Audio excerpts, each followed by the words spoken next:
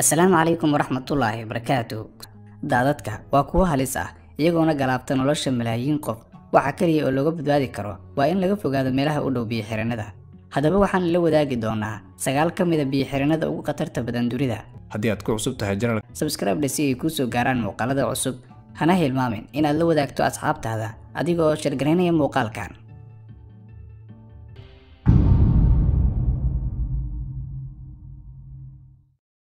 biyo-xireenka muusil biyo-xireenkan waxa uu ku yaalaa waddanka ciraaq gaar ahaan magaalada muusil waana biyo-xireen ka mid ah kuwa ugu waaweyn dunida waxa uuna koronto siiyaa in ka badan hal dhibic toddoba milyan oo ku nool magaalada muusil waana mid ka mid a biyo-xireenada ugu khatarsan bariga dhexe. Biyo-xireenka muusil waxa uu sameeyey fatahaad waxaana ku naf waayey boqolaal kun oo ku agnoolaa webiga agtiisa halka kumanaan kalena ay ku dhacday koronto iyo biyo-la-aan webigan waxa uu jiraa caasimada baqhdaad masaafo gaaban iyadoona loo kala socdo wax yar. Waana mid la furay sannadii kun sagaal boqol siddeetan iyo lixdii waxa uuna ahaa mid xilliyada qaar samayn jiray fatahaad iyadoona la dhisay in ka badan labaatan jeer. Sannadii labadii kun afar iyo tobankii ayay sheegeen injineeradii in ay ku guuldareysteen hagaajinta biyo-xireenkan kadibna waxaa dhisay injineer khabiir ku ah biyo-xireenada oo u dhashay talyaaniga waxa uuna ka dhigay mid nadiif ah oo aan samaynayn fatahaad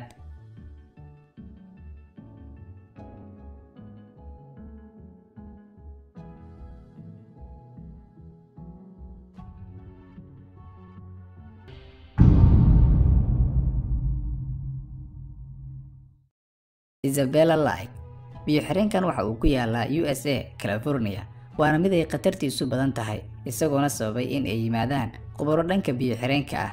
Maxaa yeelay webigan fatahadiisa soo laalaabatay ayaa noqotay mid sare u kacday waxaana sababay dhulgariir taabtay biyo-xireenka oo burburiyey buundooyinkii. Marka si looga ilaaliyo khatarta kaga imaanaysa bulshada ku nool agagaarkiisa waxa ay injineeradu ka shaqaynayaan horumarinta nashqada loo dhisayo biyo-xireenkan isagoona loo sameeyey laba biyo-xireen waxa uuna hadafkoodu yahay inay kor u qaadaan shan mitir biyo-xireenkan mashruuca lagu dhisayo biyo-xireenkan casriga ayaa la soo gabangabeynayaa labada kun labaatan iyo labada haddii la dhiso xitaa webigan waa mid ay khatartiisu sii jirayso ilaa xad.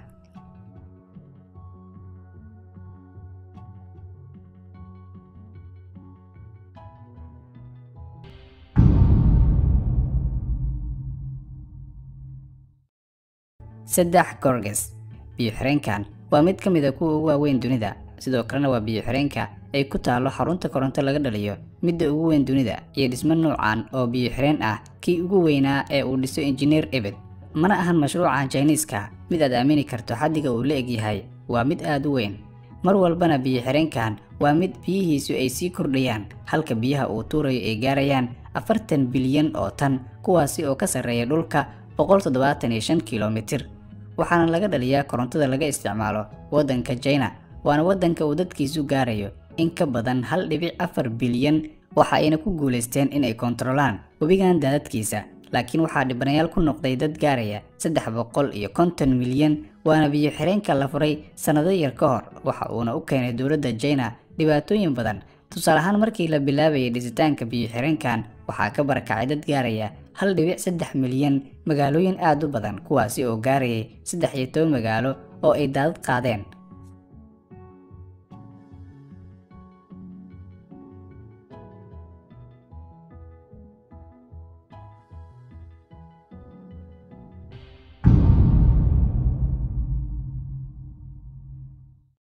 Sayano shushinskaya kani waa biyo-xireenka ugu dheer raashiya kaas oo la dhisay waqti hore laakiin injineeradii dhisay xilliga ayaan si wanaagsan u dhisin biyo-xireenkan isagoona burburay fatahaadna sameeyey sannadii labadii kun iyo sagaalkii kaas oo ay dhibaato ka soo gaartay dadkii degganaa agagaarkiisa. Waxa uuna shil ka dhacay xarunta korontada ee biyo-xireenka iyadoona ahayd musiibadii ugu weyneed ee ka dhacda raashiya taariikhda casriga waxaana ku dhinteen dad gaarayay toddobaatan iyo shan qof. Kadib markii ay dhacday musiibada sannadii labadii kun afar iyo tobankii ayaa dib loo dhisay biyo-xireenkan welina bulshada ku ag nool caqabad ayuu ku yahay qiyaastii celcelis ahaan biyo-xireenkan waxaa ku naf waayey. Dad gaaraya hal dhibic shan milyan khubro badan ayaa isku raacay in biyo-xireenkan uu qarax samayn jiray muddo aad u dheer oo gaaraysa ilaa sagaashan sano.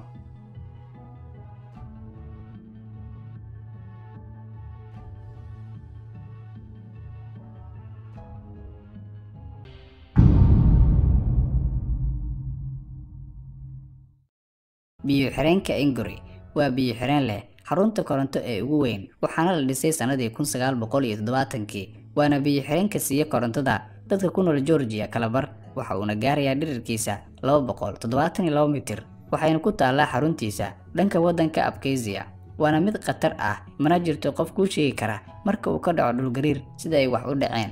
Biyo xireenkan waxa uu ku yaalaa xuduudda u dhexaysa jamhuuriyadda abkazia iyo georgia webigan waxaa xukuma dalka georgia halka xarunta korontadana ay ku taalo dhanka abkazia waana mid inta badan uu ka dhaco khilaaf u dhexeeya labada waddan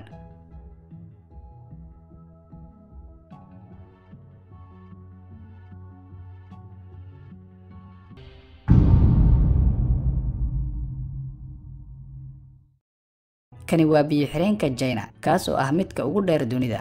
Waxa uuna ku yaalaa webiga mekong ee ugu weyn bariga aasiya waxa uuna siiyaa koronto waddamada kale ah china myanmar thailand laos cambodia iyo vietnam.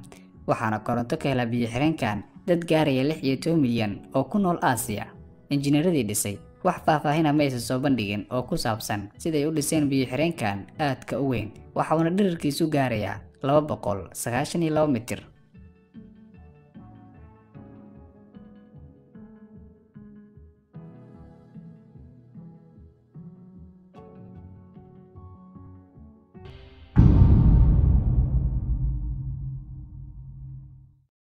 ground texas waa biyo xireen leh derbiga shubka ee ugu dheer waana midka ugu caansan switzerland oo ay yimaadaan dalxiisayaasha waddankaas taga webigan waa mid leh biyo aad u badan waxa ayna gaarayaan dhirirkoodu afar boqol mitir cubik haddii uu jabo derbiga biyo xireenka waxa uu sii deynayaa biyo aad u xoogan waana mid awood u leh in uu saameeyo muddo afar daqiiqo ah gudahood dad gaaraya soddon kun oo qof oo ku nool webiga agtiisa.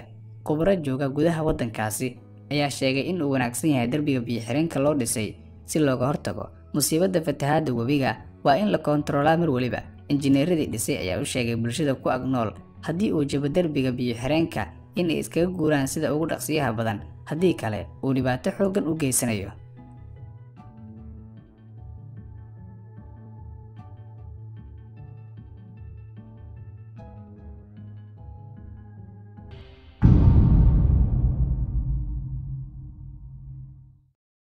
biyo xireenka newrek biyo xireenkan waxa uu ku yaallaa kazakhistan waxaana loo aqoonsanaa biyo xireenka ugu dheer dunida ilaa labadii kun afar iyo tobankii markaasi oo uu noqday biyo xireenka ugu dheer kan china caqabadda haysata injineerada ayaa ahayd in biyo xireenkan uu dheer yahay. Baaxaddiisuna ay ballaaran tahay maxaa yeelay waxa ay doonayeen in ay ka sameeyaan dhisme aad u adag si uusan u dumin haddii uu dhaco dhulgariir sida laga soo xigtay injineerada markii laga sameeyey biyo xireenka korontada awooddii badneed ee uu lahaa webiga isagoona hoos u dhacay boqolkiiba soddon waxaana laga sameeyey haatan xarun korontada laga dhaliyo.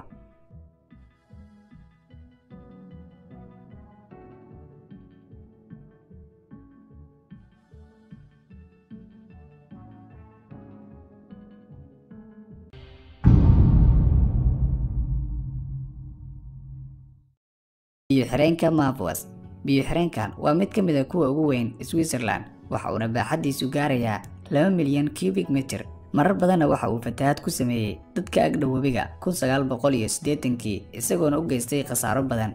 Laakiin injineerada ayaa sheegay in wax kasta ay macquul tahay. Sidaa darteed waa in laga hortagaa khasaare kasta oo ka imaan karta dumitaanka derbiga iyo webiga. Waad ku mahadsan tahay daawashada muuqaalkan. Sabscribe dhe si ay kuu soo gaaraan muuqaalada cusub. Waa inoo muuqaal kale. Mahadsanidin